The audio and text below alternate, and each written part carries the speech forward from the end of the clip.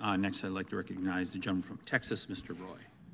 Uh, Thank the chairman. Uh, Thank you for appearing before the committee. Uh, Director, uh, I served in the U.S. Attorney's Office, prosecuted 922G1, 924C, uh, felons in possession and so forth. Um, uh, I would say that, well, let me ask you this question.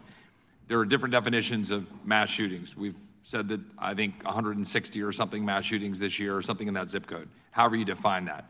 I believe, In, in, not necessarily get to the question. In, in your reporting of that, um, how many of those shooters uh, can you report ha- were on medication?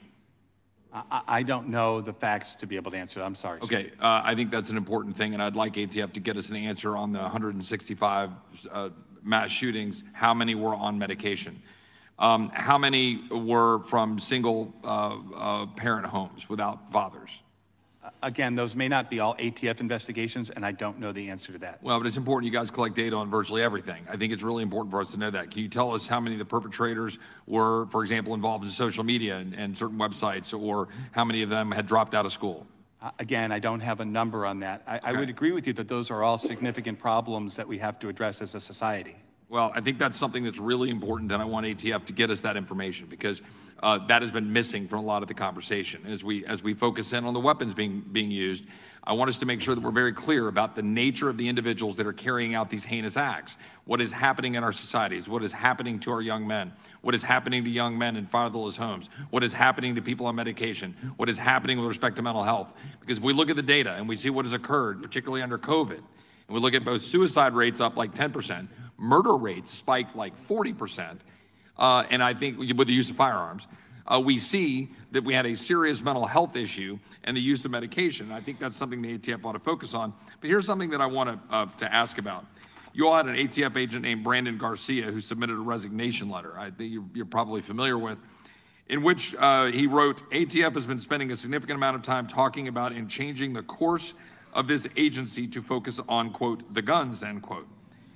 Agent Garcia also noted the following Last year, headquarters spent pretty much the entire year talking about the vaccine and threatening termination for those who wouldn't get it. Uh, the deputy director threatened to prosecute agents for lying to a federal agent if we did not appropriately update our vaccination status in the system. He also noted uh, that they were um, saying nothing about holding people accountable for the crimes they commit unless it supports their agenda.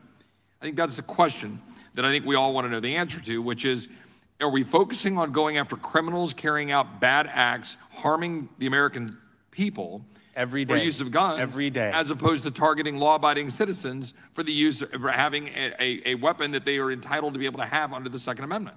We, we are indeed focusing on taking violent criminals and trigger pullers out of our community. Of course, working with state and lo- lo- local law enforcement, right? Every day.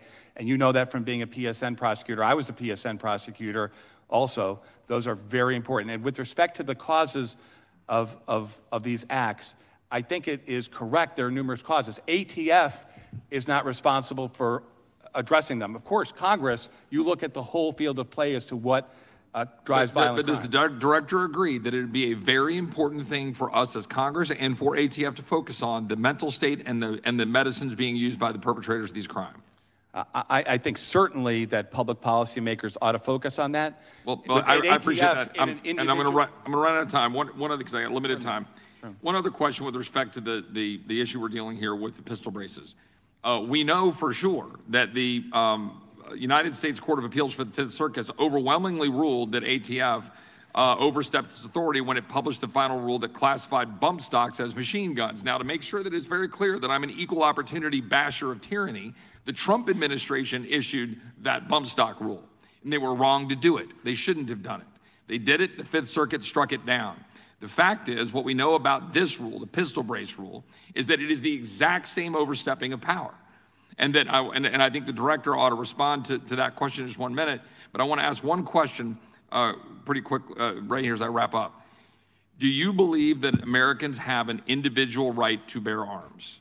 Uh, The Supreme Court has said that, so yes, that there- the, the, the Supreme Court has said in the Heller decision and then in the Bruen decision uh, that the That it is Second an Amendment. individual right The Second arms. Amendment gives individual right to keep and bear arms. And so, uh, what I would just suggest to the director is that when we know the Fifth Circuit has slapped down a regulatory overreach with respect to bump stocks under a Republican president, and now we have a effort here under pistol braces, which is looking backwards, to take a piece of plastic, as my friend from Kentucky said, to add to a weapon, and to say to someone who had a lawful product for the entire time they've had it, to now say that it is unlawful, would the director agree that that is something that the Fifth Circuit is very well going to look at and say that is an overstep of the executive branch over legislative authority?